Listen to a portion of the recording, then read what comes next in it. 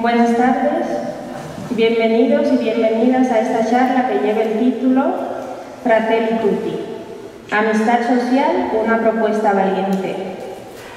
El pasado 3 de octubre, el Papa Francisco firmó en Asís la carta encíclica Fratelli Tutti sobre la fraternidad y la amistad social.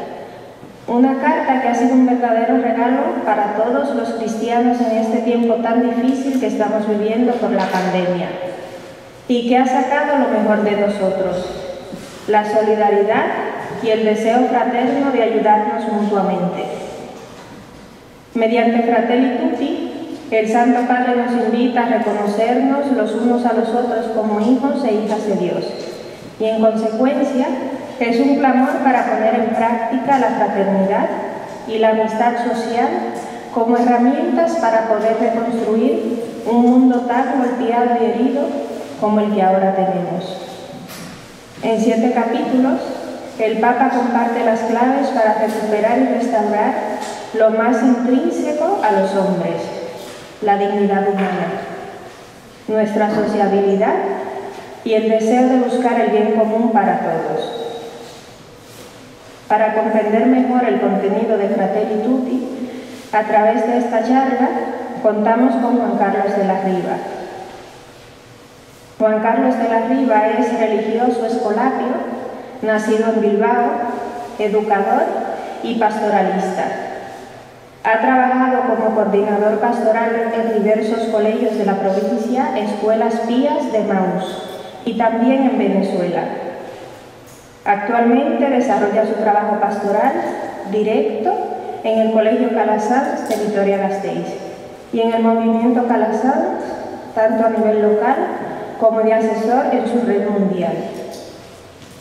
Desde hace cinco años coordina la revista de Pastoral Juvenil, proyecto especializado en el trabajo evangelizador con jóvenes, que afronta su nueva etapa como red pastoral juvenil.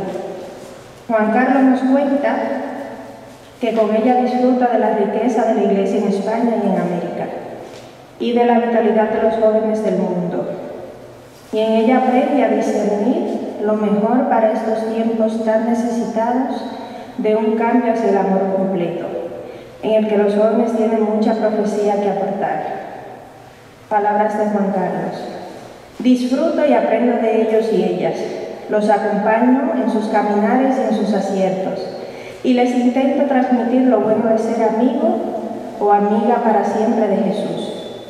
La vida me ha enseñado a tener paciencia y a mantener la ilusión del sembrador, que sueña con una gran cosecha de trigo para el pan del mundo y sigue sembrando en todos los terrenos, siempre con esperanza.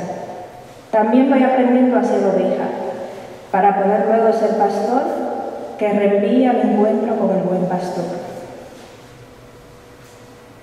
Pedimos al Señor que abra nuestra mente y corazón para poner su mensaje a través de las palabras de Juan Carlos, a quien cedo el micrófono y agradecemos de antemano por aceptar compartir este rato con nosotros.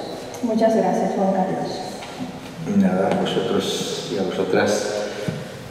Bueno, un gusto estar aquí, un gusto haber aceptado esta propuesta que pues me ha venido muy bien, la verdad, porque siempre que te toca pues, preparar algo para otras personas, pues te preparas un poco, buscas algo por ahí y la verdad que he pasado ratillos muy agradables pues eh, preparando esta charlita que espero que nos pueda servir para profundizar un poquito más en esta encíclica y en todo el pensamiento de Francisco. ¿no? Así que agradecido estoy yo por la oportunidad de, sentarme para poner eh, ordenadamente algunas ideas, ¿de acuerdo?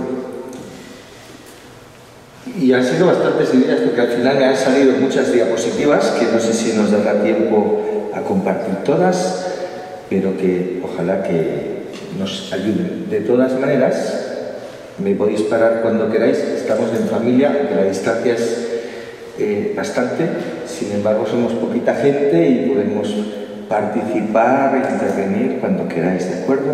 con toda libertad de hijos de Dios que tenemos. Bueno, me preguntaba yo dónde poner el foco y entendía que no interesa resumir, ¿no? Pues la encíclica está ahí, la Fratelli eh, es un poquito larga quizá para, para los jóvenes, desde luego, bastante larga, ¿no? 280 y pico números, pero ahí está, y se entiende muy bien, y habla por sí sola, no necesitaría que yo eh, tuviera que resumirla o explicarla, ¿no? Mm, luego, si queréis materiales para trabajarla con jóvenes o con, grupos de comunidades, pues empieza a haber en las redes pues, materiales pues, suficientes, ¿no? Yo recomiendo aquí, por empezar descartando este tema de, la divulgación, pues este canal de YouTube, José Antonio Copañes, tiene un canal de animaciones que es bastante interesante y que ha prometido sacar nueve vídeos sobre los ocho capítulos más la introducción que tiene la encíclica. Y de momento creo que ha sacado cuatro y están muy bien. Son Ahí sí tendréis un buen material para jóvenes y para gente de comunidades. Y luego eh, hay un vídeo muy chulo que seguro que ya habéis visto, el de la presentación oficial de la encíclica, que es la foto de esa del medio, y va a haber, que todavía no lo hay, va a haber un número de la revista que animo que coordino y que es ese que está ahí, que ya, tiene portada, aunque todavía está en las máquinas. ¿De acuerdo? Entonces, eh, pues creo que no, no sé, mi objetivo no sería tanto resumir o, concentrar un poquito el mensaje que ya está ahí muy claro, ¿no? Me gustaría tener otro objetivo, si os parece. Eh, sería entender un poco a Francisco desde dónde está escribiendo esta encíclica, desde dónde lo hace. ¿Cuáles son un poco las claves de ese pensamiento social de Francisco? que me parece muy bueno, que me parece extraordinariamente actual y que me parece pues, que necesita eh, pues, ser divulgado también y ser extendido. ¿no? Por eso ponía ahí pues, intentar entender para extender, para que cada quien de nosotros podamos eh, ser eh, sujetos transmisores de un pensamiento muy claro que este hombre está proponiendo a la Iglesia y en este caso no solo a la Iglesia, sino también al mundo entero. Porque él dice que esta encíclica es para todo el que quiera leerla y todo el que sienta que es un ser humano capaz de vibrar ante un mensaje de fraternidad como este. ¿no? No es que yo quiera defender a Francisco, pero también es cierto que a Francisco le han salido enemigos, ¿no? enemigos fuera de la iglesia y más enemigos dentro de la iglesia. Creo que fuera de la iglesia ganaba adeptos y ha acercado a la iglesia a algunas personas y quizá dentro de la iglesia pues le han salido algunos críticos, ¿no? vamos a llamarlos así, hermanos que, que ponen en alguna cuestión cosas de su magisterio o de sus reformas. ¿no? Entonces pues siempre hay gente que destaca pues que es demasiado revolucionario, qué sé yo, o que eh, pues no es suficientemente apoyado en la escritura o en el magisterio de la iglesia y tal. Algunos incluso le llegan a llamar comunista o masón, cosas así, un poco peores, ¿no? Y también tiene críticas por el otro lado, de gente que dice, oh, pues eh, parece que parecía que iba a renovarlo todo, pero no termina de ordenar a la mujer, gente que quería o querría que fuera más despacio o más rápida la cosa. Y a lo mejor Francisco va despacio en algunas reformas que está haciendo. ¿no? En cualquier caso, no soy yo quien para defenderlo.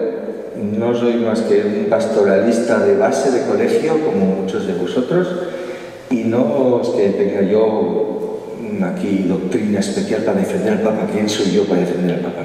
Creo que él mismo se defiende a sí mismo y a lo mejor hoy mi idea también era compartir pues cómo él se va explicando, ¿no? cómo él se va explicando ante quien le pregunta, bien sea del lado más tradicional o conservador de la Iglesia, o bien sea del lado más mm, renovador o reformista de la Iglesia, cómo él se explica cómo él explica lo que está haciendo, que creo que, que merece la pena escucharle. ¿no?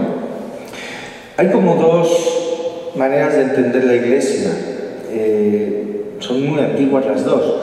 La, la de Casta Meretrix, ¿no? es decir, joder, ahí se están dando de tortas, porque fíjate, eh, le están criticando, hay como pelea, hay no sé qué. Uno puede leer que en la iglesia hay conflicto y decir, pues la iglesia es una prostituta casta, pero prostituta es una expresión de San Ambrosio, pero Francisco nunca ha usado esa expresión, nunca la ha usado él. Él no habla de que la iglesia sea un desastre o esté hecha un lino, no. Él usa otra que también es muy antigua, es del siglo III, la expresión mysterium lune.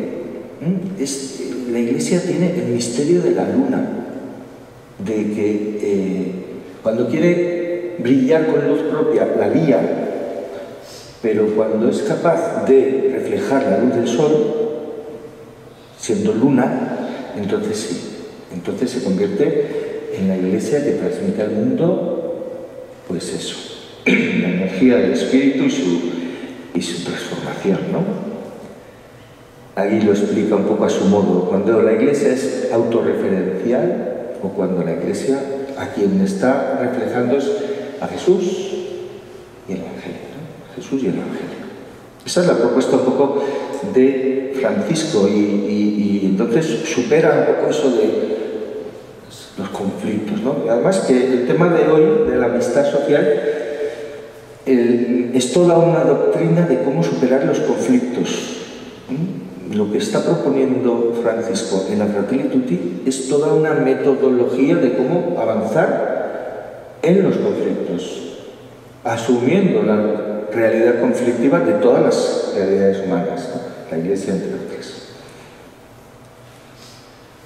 Bueno, en Fratelli Tutti tenemos el Francisco que era ya Bergoglio. ¿no? Dicen que esta doctrina que acaba de, publicar es la que ya venía él madurando siendo arzobispo en Argentina. Es un poco el Bergoglio que ya tenía su tradición. ¿no? Así como la Laudato Si sobre la conversión ecológica era un tema que él nunca había abordado, nunca se había metido con la Laudato Si, con la ecología en directo, y él, y él habla de, de, que yo tuve una conversión ecológica ya siendo papa, él habla de que me convirtió el patriarca ortodoxo, en sus conversaciones con él, me convirtió ir en un barquito a ver un árbol ahí plantado en mitad del mar, preguntar que quién ha plantado un árbol en mitad del mar y que me contesten, no padre, es que aquí había una isla que ya no existe. O, conocer que, que, el jefe de no sé qué isla del Pacífico está comprando kilómetros de la isla de Samoa porque tiene que llevar a su gente allá porque su isla seguramente quede cubierta por las aguas en 20 años. Él dice que tomando contacto con esas realidades, pues hice mi conversión ecológica. ¿no?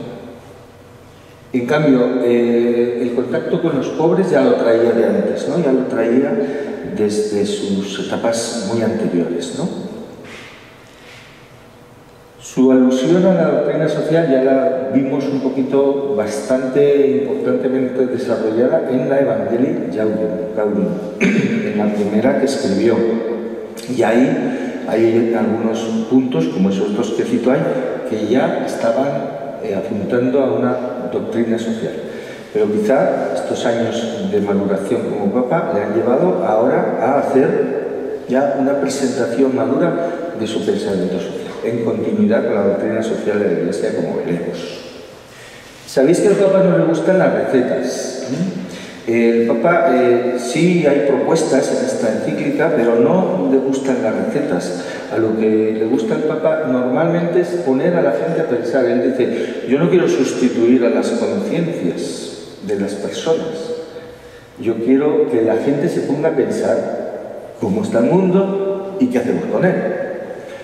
En ese sentido, eh, esta encíclica tiene tanto más que de propuestas de contenido, de, de, oye, tenemos que hacer, qué sé yo, una renta social básica para los pobres, más que propuestas de contenido, tiene propuestas metodológicas, propuestas de cómo salir de los atascos. Cuando habla de amistad, él está proponiendo que si somos amigos, vamos a saber solucionar los problemas como lo hacen los amigos, como lo hacen los que se sienten eh, cuadrilla. Y me ha servido de mucho leer este librito azul que está ahí puesto. No sé si lo conocéis, lo habéis leído. Este salió después de la encíclica, se llama Soñemos Juntos y es fruto de unas entrevistas, de unos diálogos que este Austen no sé cuántos, Eiberey o algo así, un periodista, eh, hizo con Francisco. ¿Por qué me ha gustado? Y os lo recomiendo de verdad, si no lo conocéis, pues porque eh, explica sus ideas, Francisco, pero las va hilvanando con su experiencia vital, con su recorrido vital. Eso es muy bonito. Hace que sea un libro pues más entrañable, más desde dentro, más desde lo profundo de un corazón apasionado como es el de él y que ofrece su experiencia que la quiera escuchar, ¿no? sin ánimo de, imponer doctrina, como pueda ser una encíclica, sino con ánimo de compartir y de hacerse entender. Pues lo recomiendo de verdad. A mí, desde luego, estos días me ha ayudado, mientras estaba esperando cuatro horas en urgencia a que me sacasen esto ahí, me lo pusieran bien, pues me la leí porque me ayudó mucho. ¿Cuál es el esquema que yo os propongo para este rato? vuelvo a repetir que cuando queráis me paráis. Pero yo había pensado en cinco cosas. Primero, deciros dónde sale lo de la amistad social dentro de la Fratelli Segundo, contaros cómo enlaza esto con la tradición de la Iglesia, para que veamos que, de revolucionario tiene poco, por lo menos enlaza con bastante de la tradición de la Iglesia. Que veamos también su enlace con la antropología actual, voy a meterme un poquito en terrenos filosóficos, no sé si a alguno se le hará más amplio esa parte, pero sí me parece que un hombre que, tiene la pretensión, porque es argentino y tiene la, voy a llamarlo el orgullo de los argentinos, ¿no? Eh, este ha salido a la palestra para hablarle a toda la humanidad, no quiere hablar solo a la iglesia.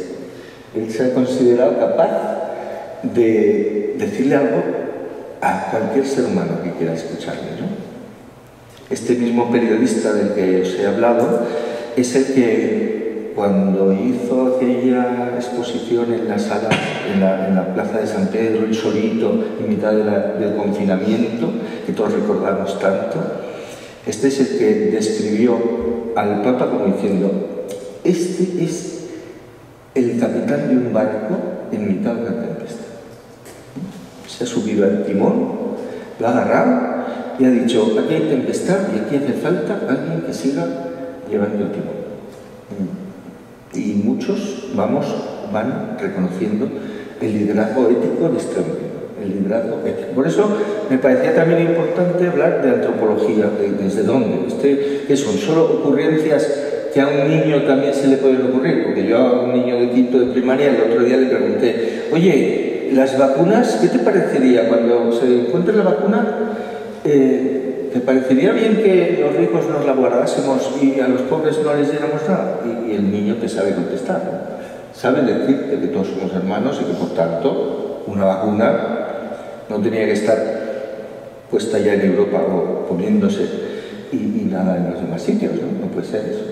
Bueno, pues esto que podríamos eh, aplicar el foco a Francisco y decir, Francisco está diciendo las cosas de los niños o está diciendo cosas que la antropología actual está sosteniendo, o, alguna antropología actual por lo menos. Por ahí me voy a dedicar algún ejemplo. Y luego quería hablar también de conceptos, enlace en concreto 6, con los que enlaza directamente la amistad social. Y al final, pero muy brevemente, porque creo que no es lo más importante de la Fratelli Tutti, de las propuestas que hace. ¿vale? Este es mi, menú, mi menú. Si algún tema os queréis que me lo salte o queréis que profundice más, me lo vais diciendo. ¿vale? Vamos con el primero. El tema de dónde está la amistad social en Fratelli Tutti. Primero que está en el subtítulo, ¿no? Es una encíclica sobre la fraternidad y la amistad social, por lo tanto es un tema transversal. Habla de muchísimas cosas la Fratelli Tutti. Tenéis una sopa de letras bastante potente, ¿no? De todo eso habla la Fratelli Tutti. Pero eh, yo he querido destacar o subrayar este concepto de amistad social por encima de otros, me parece el más sugerente. al principio lo cogí porque yo soy de la pastora juvenil, como aquí algunos, y dije, pues esto de ser amigo mm, va bien para los jóvenes, ¿no? Esto de ser amigo, siempre les digo que son ellos los que nos enseñan a los adultos lo que es la amistad, que parece que cuando somos ya mayores se nos olvida aquello que fuimos de adolescentes. Pero cuando he profundizado más, me parece que es uno de los términos más jugosos y que más definen eh, lo que está haciendo este hombre, tanto con la Iglesia como con el mundo, en sus propuestas. Está vinculado a la palabra fraternidad, de alguna manera la explica, ¿no? Explica. Fraternidad, la vamos a entender como amistad social, es un concepto que ya tenía en Argentina. Y luego dentro de la encíclica hay un capítulo específico, donde ya lo titula así, Diálogo y Amistad Social. El capítulo 6 en concreto, de los ocho que tiene, el sexto desarrolla este capítulo. Y yo lo entiendo como un capítulo formal, procedimental, lo que os decía antes. Aquí no hay propuestas concretas, aquí nos está hablando de por dónde llegaremos a las soluciones, qué tenemos que utilizar. Sabéis que él hablará de discernimiento muchísimo y también va a hablar de diálogo, muchísimo, y el diálogo de los amigos. Vamos con la, ubicando un poco más, más en concreto. Sabéis que también este triple esquema es ya eh, un clásico de Francisco. Lo ha puesto en varios sitios, en la Evangelica Audium lo puso. Nosotros siempre lo hemos llamado desde la revisión de vida el ver, juzgar y actuar. Él ha usado otras palabras para hablar de este mismo concepto. Reconocer, interpretar y elegir, por ejemplo, puso en la Evangelii Gaudium. Le da un matiz un poquito más, eh, si quieres, espiritual a la cosa. Y, y, en otros sitios, él habla, por ejemplo, en este librito de Lausten, del periodista, él habla de contemplar, ya no es una mirada cualquiera, es una mirada contemplativa sobre la realidad. Luego, discernir, en todo lo que eso conlleva, todo el bagaje de un jesuita que aprende de San Ignacio, todo lo que es el discernimiento espiritual y también el discernimiento colectivo, y proponer, porque aquí no se impone nada, sino que todo se propone. Bueno, pues en este triple esquema yo he hecho el análisis de, un poco de la, encíclica en su totalidad, ¿no? Y, y veo que esta parte de diálogo, donde habla más de diálogo y de sinodalidad, me parece como una herramienta, un criterio para juzgar, un criterio para juzgar, y luego ya de ahí saldrán proposiciones, saldrán propuestas de ese diálogo. Vamos a juzgar con criterios y vamos a dialogar como hermanos, mirándonos en las que tenemos. En el ver hay un primer capítulo en la encíclica que habla de 13 amenazas habla de los lugares oscuros, del mundo oscuro, del mundo cerrado, y habla de 13 amenazas que ahora mismo está padeciendo la humanidad. Y en el último apartado, en casi todos los demás capítulos aparecen las propuestas. Un poquito puesto, puesto más en la grilla ya los ocho capítulos tal cual están, yo los he dividido así. He visto que el primero va de contemplar las oscuridades de nuestro mundo, aunque también luego en otros capítulos que hablan de la paz, de la política o de eh, los migrantes, que tiene el capítulo cuarto dedicado a ellos, o el último que habla de las religiones, en cualquiera de esos cuatro capítulos también hay un poquito de contemplar, también hay un poquito de, de ver primero. Pero el discernir yo lo he visto en el capítulo 2, cuando habla ya del buen samaritano, y nos habla ahí de esa iluminación evangélica, esa iluminación bíblica que siempre hemos buscado cuando hacíamos la metodología de ver para actuar.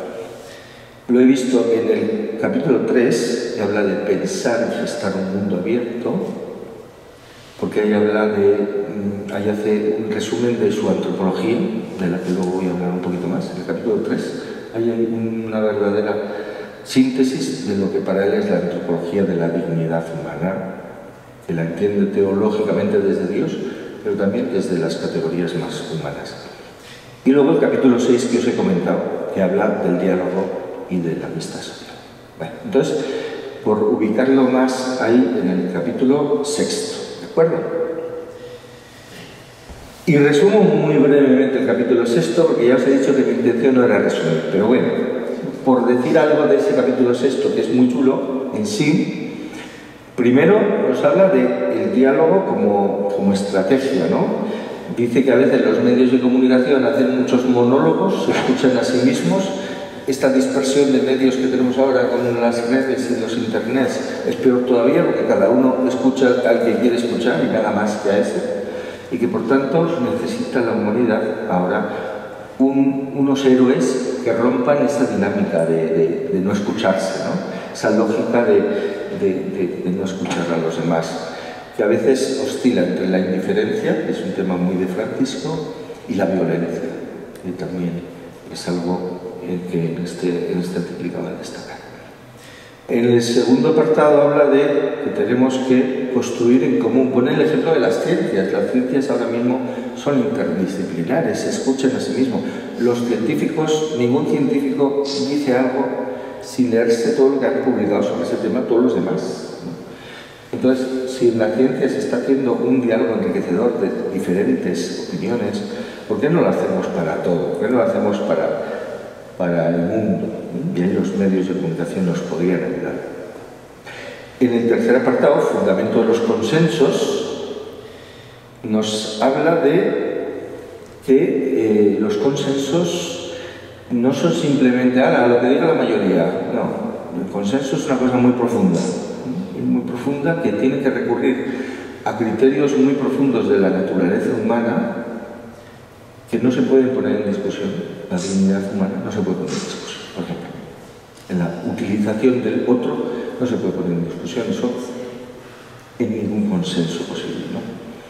Cuidado con los consensos superficiales, donde triunfa la lógica de la mayoría, donde triunfa la lógica del que se impone en los medios, y hace pasar por verdad lo que no lo es. Cuidado, porque él habla de, unos consensos que se fundamenten en la dignidad humana. El siguiente puntito, el azul, el consenso y la verdad es más profundo sobre esto mismo. Él dice, a ver, la, verdad no se construye por consenso, la verdad no es lo que entre todos decidamos, eso no es la verdad, la verdad tiene su esencia, la verdad está ahí, la verdad es la esencia del amor de Dios y la esencia de, la capacidad de amar del ser humano. Pero es cierto que el diálogo puede ser la herramienta con la que lleguen muchas personas o todos a la verdad. El diálogo puede ser como que la herramienta. Entonces, desde ahí la valoración del diálogo.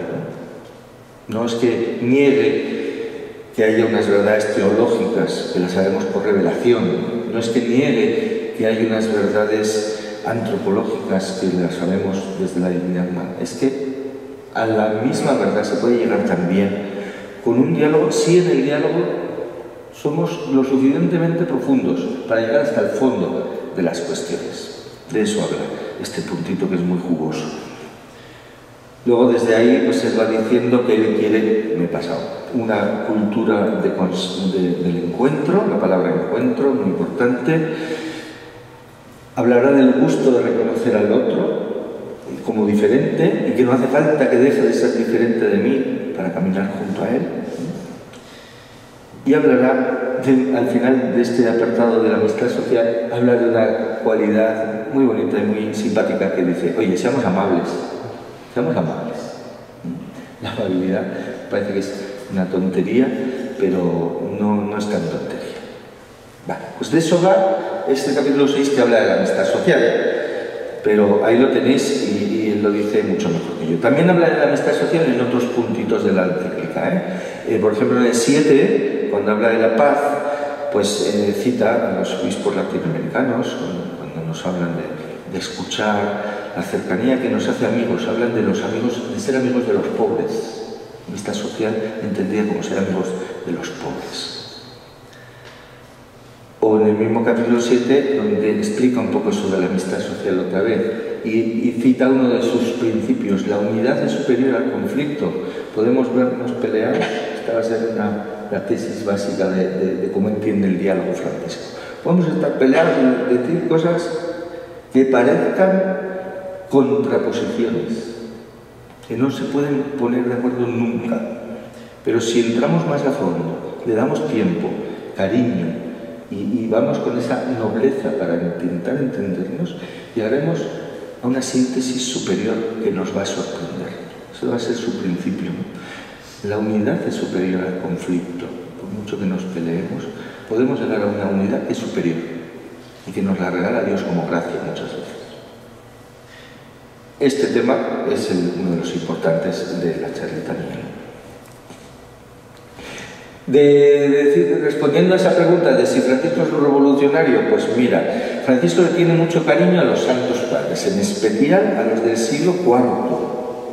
Bueno, tiene mucho cariño a uno del siglo VII, que es este Veda el Venerable, porque ya con 17 años escuchó eh, cómo este hombre comentaba el Evangelio donde Jesús le, le hace seguidor a Mateo, el cobrador de impuestos, y dice, le miró con misericordia y, le eligió. Y dice que esa frase, pues lo miró con misericordia como diciendo, qué pobre hombre, pero le eligió. Dice que él sintió que ese tenía que ser el lema. Luego lo usó como su lema de arzobispo y ahora lo tiene de lema de papa. ¿no? misericordiar es un verbo que seguro que le habéis oído usar, misericordiar. Y que también en esta propuesta social que él tiene una palabra importante, mirar con misericordia, con corazón que siente junto al otro. Entonces, esto viene ya de Vela el venerable del tiempo. No sabemos mucho de él, pero ahí está. Pero de los del siglo IV cogió muchas cosas, por ejemplo, de, de San...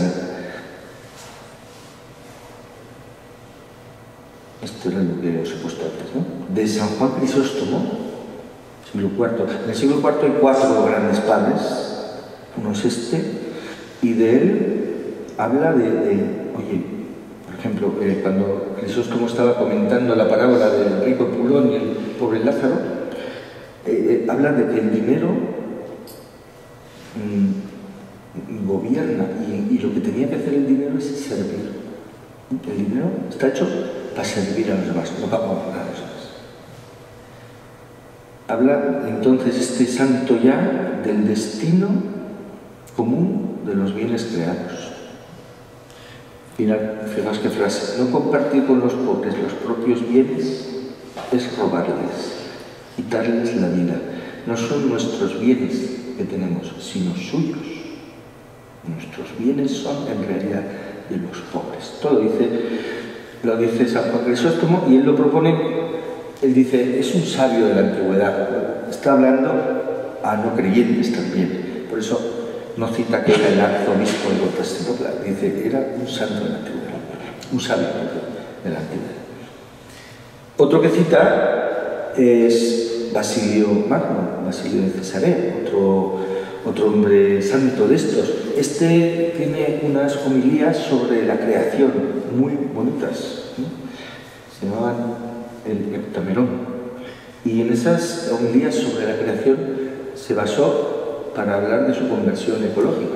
Lo cita a Basilio Magno y dice que, tiene una visión, Basilio Magno, muy ecologista, muy del siglo XXI, porque ya él hablaba de destacar que todo tiene que ir unido, la creación y los pobres y las relaciones que establecemos en la política, que todo tiene que estar integrado. Ya de eso hablaba este hombre en el siglo IV. Entonces, pues bueno, de ahí se inspira también este Francisco. Otro del cual se inspira es de San Ambrosio de Milán. San Ambrosio de Milán, disculpadme, San Ambrosio de Milán, eh, de San Ambrosio va a citar tres cosas. Eh, va a citar el, énfasis que pone a que los pobres queden integrados en la comunidad y no los dejen por fuera, que estén integrados con uno más. Esto lo, exige como arzobispo de Milán era. De San Ambrosio dirá también el tema de, el mismo tema que ha dicho el primero de los que cita, que es que tienes una riqueza que no es tuya, es de todos, es pública. Tú eres el guardián de la riqueza, no su dueño, no eres el Señor. Tú que escondes el oro bajo la tierra, eres su servidor, no su dueño. Una idea interesante sobre el uso responsable del capital hoy en día. Y también eh, de, San Ambrosio va a coger la crítica al lujo, la crítica al lujo. Seguro que le habéis oído al Papa hablar muchas veces de nuestra mundanidad y de proponer, como lo hace en la Laudato Si, la sobriedad, esa propuesta que, nos invita también a hacer la conciencia ecológica actual de que no podemos tener un gasto. Creo que ahora en Vitoria necesitaríamos, hay unas webs por ahí que, calculan cuántos planetas necesitaríamos si todos consumieran lo que tú consumes. Hay webs que te lo dicen. Me parece que ahora Vitoria está por los dos planetas necesitamos. Hay países que están peor, ¿eh? pero no está nada bien. Bueno, pues de esto se está bebiendo eh, Papa Francisco. También cita a San Agustín de Hipona. No estoy leyendo todo lo que pone por ahí, luego os lo paso si queréis, antes que queráis, lo colgamos en la página de la, de la diócesis.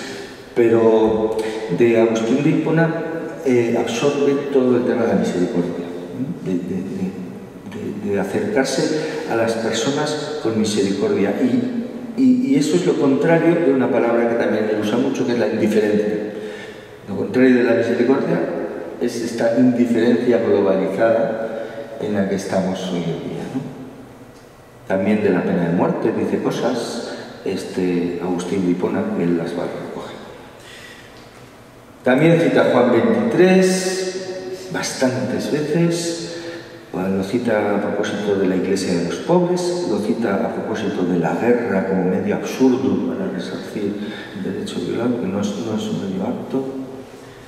Eh, cita Pablo VI, que también eh, tiene intervenciones sobre la iglesia de los pobres, y, una de las cosas que le ha criticado a, Francisco de esta encíclica, parece que pone en cuestión la propiedad privada, hay un puntito por ahí, que, parece que pone en cuestión la propiedad privada. Pues entonces es comunista, no sé qué. Primero que hay que decir que no la pone en cuestión, sino que la supedita. ¿Eh? Él dice, no, no, puede haber propiedad privada tranquilamente, pero debe estar supeditada al bien común. Debe estar supeditada bajo el principio del derecho universal de los bienes creados. La creación es para todos y no por los pocos. Eso es el criterio desde donde se debe marcar la propia vida. Y eso ya estaba en Pablo VI. Ya estaba en Pablo VI.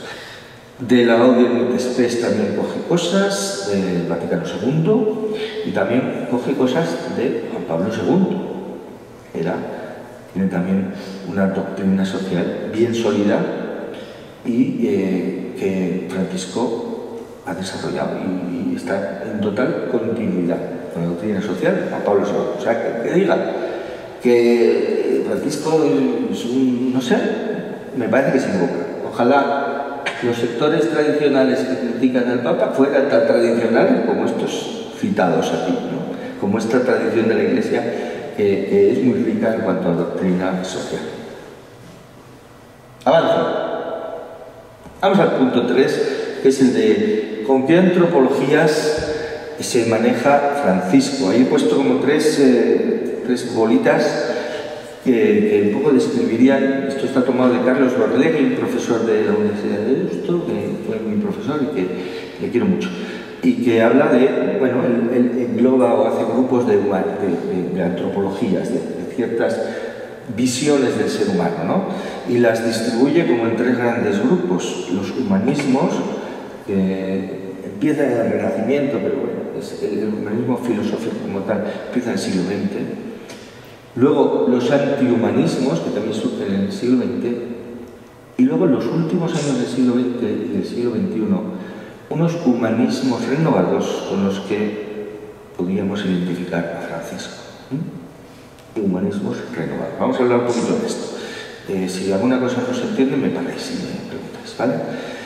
Evidentemente, un humanismo, ¿qué es? Pues un humanismo es decir que el ser humano tiene una dignidad incuestionable y quebrantable. Eso es ser humanista. Y que hay una fe en, que el ser humano con su racionalidad puede descubrir esa dignidad y la puede mantener y puede basar una ética en ese descubrimiento de la dignidad suprema del ser humano que, puede vincular eh, con procesos democráticos. Los humanismos siempre han estado vinculados a versiones un poquito democráticas del diálogo y tal, que tienen esperanza en el, progreso del ser humano, tienen esperanza en el ser humano que no es un desastre, que no es una mala bestia, que podrá eh, cubrir, eh, cumplir sus sueños de, humanidad reconciliada y feliz. que creen un poco en la ciencia, en su progreso, etc. Bueno, esos son los humanistas. ¿no? Ahí hay algunos nombres, de los humanistas que ha habido en la historia y eh, los eh, distribuye como en dos grupos. Los esencialistas que dicen, bueno, es que el ser humano tiene esta naturaleza, tiene esta esencia. Esto, esto es, ser humano es esto. ¿no? Aristóteles, Kant, Seller, eh, nos han dicho para ellos qué era la esencia del ser humano. Una esencia un poco estática. Y luego ha habido otros humanistas más románticos, poéticos, no sé cómo llamarlos, eh, existencialistas, historicistas, vitalistas, que han hablado de una esencia no fijada, sino que se construye en la historia de, la propia vida, eh, una libertad. Han subrayado sobre todo el elemento de la libertad del ser humano y cómo el ser humano despliega su potencialidad en esas decisiones que va tomando la persona. Han hecho un humanismo, pero basado en la libertad, más que en la esencia. Bien. Juan Pablo II fue un gran humanista, aparte de santo. Fue un gran humanista, podríamos encasillarlo en, este, en esta corriente del personalismo de Manuel Munier, francés, del siglo XX, aquí tuvimos a Carlos Díaz, o tenemos a Carlos Díaz, que ha desplegado también su, pensamiento, su, su manera de entender el humanismo. Pero frente a estos humanistas han surgido en el siglo XX los antihumanistas. Los antihumanistas que han destruido de alguna manera la concepción del ser humano y la han relegado, la han relegado, han dicho que el ser humano no. El Papa remete contra los antihumanismos en esta carta, arremete contra ellos y dice pues que no puede ser. Eh, hay unos antihumanismos cientificistas que reducen al ser humano a una máquina o a un animal. Esto está muy popularizado, esto está más popularizado de lo que pensamos, el reducir el ser humano pues, a un animal más. A veces con mucha facilidad se habla de los derechos del perro y te lo sacan en un periódico un señor que tiene un perro por ahí y no hay que hacerlo, no voy a decir yo que hay que hacerlo, pero bueno, ¿cuántos niños dejamos morir de hambre? Eh, parece que como somos un animal más de toda esta, eh, esta azarosa casualidad en la que estamos, pues queda nuestra, el fundamento de nuestra dignidad queda un poco en entredicho, ¿no? entonces ahí hay como una especie de, ahí hay unos nombres, algunos han sido hasta, yo diría que peligrosos. Este Dawkins eh, hace unas teorías, su libro El gen egoísta, que dice que no, si, lo propio de, la genética es ser egoísta, que lo único que quiere un gen es reproducirse a sí mismo. Entonces, pues casi casi podríamos justificar ahí miles de cosas, ¿no? las eugenesias y, otras cosas. Y luego hay otros antihumanistas que son de carácter estructuralista. ¿no? El, más, el exponente más fuerte es Foucault, que es el que viene a decir, mira, el hombre es un producto del sistema. El hombre no dirige la historia, el hombre es más bien su víctima. Hay unas leyes, unos sistemas, unas estructuras que son los que le hacen al hombre ser y no, y no es él el que dirige su barca, por así decirlo. Luego ha habido otros antihumanismos más suaves, más suaves, que han querido, mm, los llama Carlos Berlegui de descentramiento. Estos humanismos han querido eh, poner el, foco del ser humano fuera del ser humano. Por ejemplo, Darwin lo va a poner pues, en la evolución, mira, pues somos monitos y procedemos de O Freud, pues, que va a sospechar de que, mira, tú pensabas que gobernabas tu vida y que eras consciente de todo, pero tienes ahí un inconsciente que en realidad pesa más de lo que parece. Marx es el que va a decir, mira, eh, aquí todo se mueve por las leyes de las infraestructuras.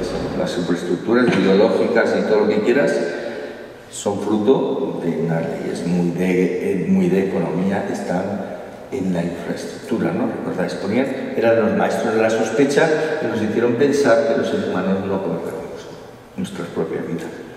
Y luego había algunos todavía más suaves, Heidegger, que va a decir que no, el ser el, ser humano se tiene que dejar pastorear, eh, es pastor del ser, ¿no? Él hablaba mucho del ser. Zubiri, es el que dice, no, es la realidad. El ser humano es ante la realidad y en su respuesta a ella como se hace ser humano. Luego hablamos un poquito de él. Levinas es el otro, es que nos hacen humanos. Nosotros no nos otorgamos a nosotros mismos esta esencia. Es cuando entramos en contacto con el rostro concreto del otro cuando nos forjamos nuestro propio ser y nuestra esencia. De estos, Zubiri y Levinas, sí va a beber Francisco. De estos, Zubiri y Levinas. Incluso eh, hay algunos teólogos de la liberación que hicieron también una especie de, de antihumanismo, de descentramiento, como diciendo, joder, aquí hemos vivido del humanismo europeo. Ya es hora, son, son escritores latinoamericanos, y es hora de que empecemos a hacer un humanismo descentrado del ser humano como lo entienden en Europa. Y desde las periferias se puede hacer otra manera de ver al hombre. También ahí podríamos hablar de un humanismo descentrado. ¿no? La palabra descentrarse también la usa Francisco. La usa Francisco varias veces. Descéntrate. Eh, a, Francisco le, le parece muy importante que nos descoloquemos de vez en cuando. Incluso cuando llegó la crisis de COVID, él dijo, pues, igual estos nos, han movido el piso, nos estamos descentrando, pensábamos que estábamos en un mundo sano y el mundo está enfermo y eso nos descentra de nuestra supuesta seguridad. También ha habido humanismo renovado. Vamos a esta, a esta concepción que es más importante, ¿no? del humanismo renovado. Hay algunos que son neoconservadores, están hablando, este McIntyre y O'Rourke están hablando de, otra vez, la esencia del individuo, la esencia de la naturaleza humana, y quizá ponen tanto el acento en el individuo, en el ser humano, en recuperar la dignidad humana, porque el ser humano es sagrado, inviolable y tal, que se están olvidando de la dimensión social y ética que tanto basura y Francisco en su fraternidad. Luego hubo un giro que lo empezó José con la hermenéutica y que lo siguieron con la dialógica, una antropología del diálogo, gente como Martin Buber o Ebner, y que luego desarrollará más Levinas. Y ahí es donde quería yo llegar, ¿no? a dos filósofos que para mí me parece están en la base de lo que Francisco está proponiendo y con la que se lanza al, diálogo con la humanidad. ¿no? La filosofía levina, donde eh, hace un subrayado muy grande de la ética. La ética es la filosofía primera y que hay que descentrarse antropológicamente. Es el humanismo del otro lo que va a proponer Levinas, la primacía del otro. Esto del otro tiene un capítulo propio en la encíclica. La entralgo entre nuestros filósofos va en esta línea de el encuentro con el otro es el que me hace ser humano. Y de Zubiri, al que seguro que conoció más por Ignacio Yucuría que por Zubiri mismo.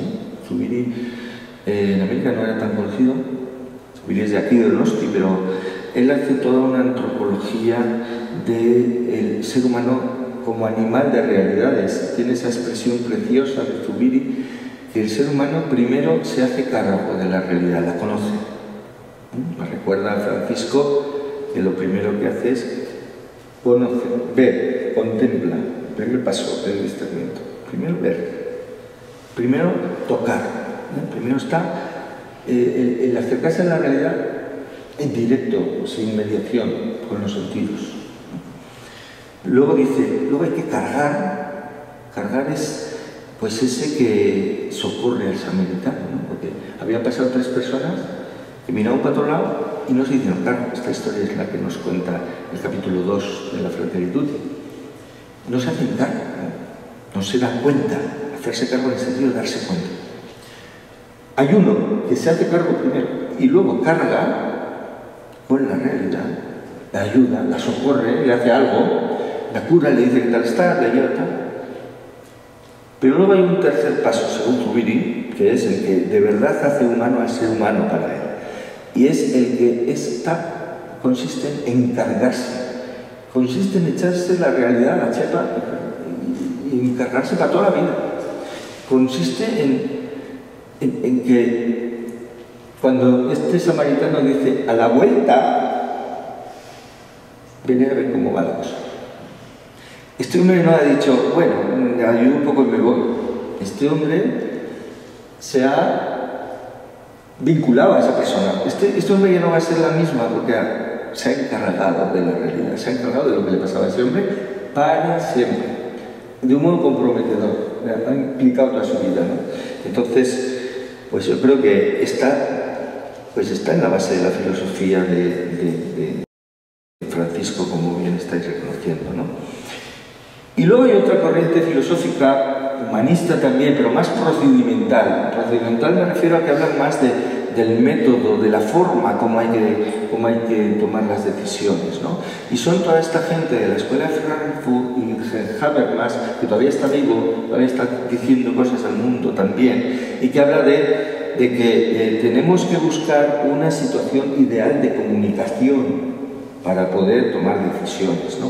Eh, eh, son los que desarrollaron Habermas y Apple la teoría de la comunicación y que está en la base de pues, toda la corriente democrática actual, ¿no? que se fundamenta en esa ética del diálogo. Entre nosotros en España tenemos la de la cortina, que es una joya y que ha desplegado toda esta filosofía del diálogo, del pacto, de leer su último libro, Apolofobia, es muy importante, ¿no?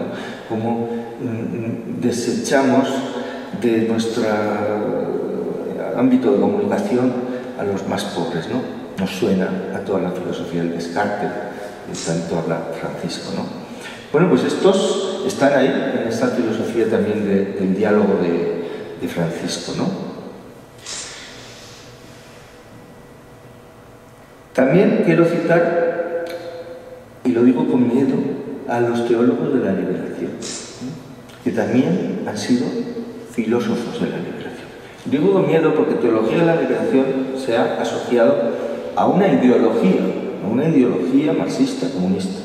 Quizá porque en buena medida muchos de ellos asumieron un método de interpretación de la realidad marxista y lo hicieron.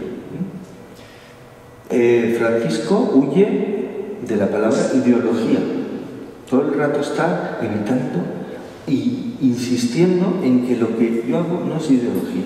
A mí no me metáis en el paquete de que soy comunista o soy socialista o soy no sé qué, porque no estoy haciendo ideología, estoy haciendo conciencia, sensibilidad.